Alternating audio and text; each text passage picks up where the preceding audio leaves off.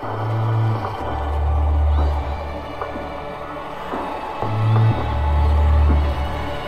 did I say that out loud?